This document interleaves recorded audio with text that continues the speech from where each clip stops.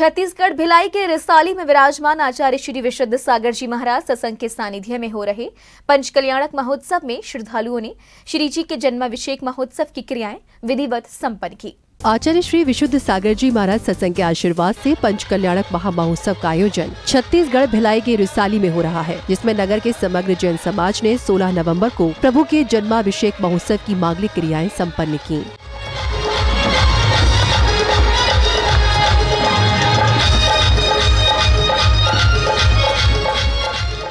इस आयोजन के अंतर्गत सर्वप्रथम शोभा यात्रा निकाली गई, जिसमें श्रद्धालुओं ने श्री जी को रथ पर विराजमान कर नगर भ्रमण कराया। बैंड बाजों के साथ निकाली गई इस शोभा यात्रा में श्रद्धालु हाथों में धर्म ध्वजा लेकर चल रहे थे।